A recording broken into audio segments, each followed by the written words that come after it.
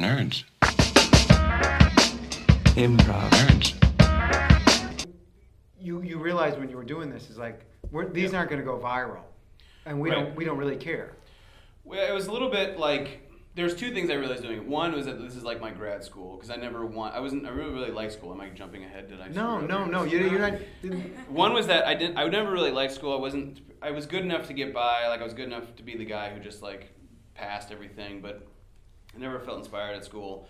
Um, and so this first off is like this is like my grad school. It's like I'm just doing a lot of work. I'm learning how to shoot different genres. I'm learning how to put together a film shoot, all this kind of stuff. And and at such an incredible rate, there's no real time to like stop and get um, perfectionist over everything. It's just like we set up a schedule. It's like we have to turn these out. It's like if I'm gonna deliver this sketch by next week, like we just have to do it and make it work as best as possible, which is a great.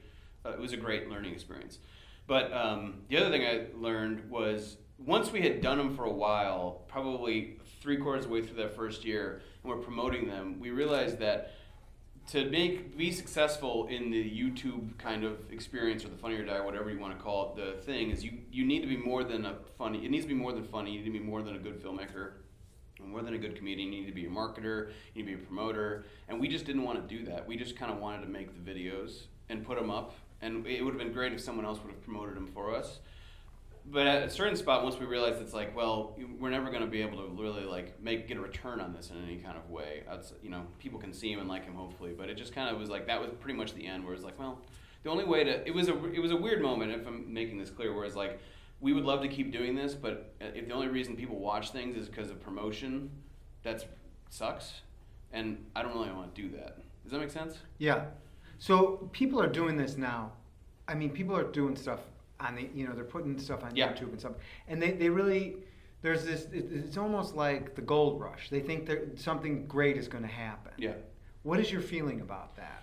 Um, my feeling on it is that I'm sure for some of them it absolutely will happen, but like that's probably the exception, not the rule. I think that to do the stuff that seems like it's the most successful, you've got to be chasing uh, clicks and you got to be kind of doing topical stuff and stuff that's only of the moment, which is not. I'm absolutely not interested in that. That I mean, I think that is just not what I'm interested. in. I don't know what to put. I mean, that's great for like a, uh, a nightly television show or for improv because this is it's a theater of the moment and of right now. But I'm interested in stuff that's a little bit more. I guess you could call it evergreen, or you could just say stuff that's evergreen or timeless. Not to make it sound too. Um, I don't know. Too pre- uh, douchey, I guess is the word. um, just try to make stuff that's that's I don't know, just more Timeless. Timeless. I mean, Yeah. I put it. I mean, there's that sounds bad, but that's kind of what I mean. And so a lot of the stuff I think is you got to be doing the stuff that's very like topical, and that's just kind of honestly boring to me. That's not at all interesting to me. I think what he wants is probably fairly clear. Yeah. So I think push harder uh, on what you want, Okay. because I think there's some confusion still on what, what that is. Sure.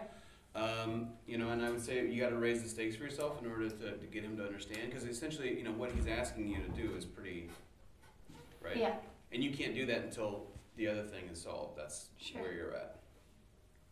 Let's just try that. Okay, so where we are we redoing this or this is Not redo it. Let's just continue on. So we're just kind of heightening what we're at already. Okay, great. Uh, so this is like an hour later or something like that. Mm, minutes later. Minutes later. Great. All right.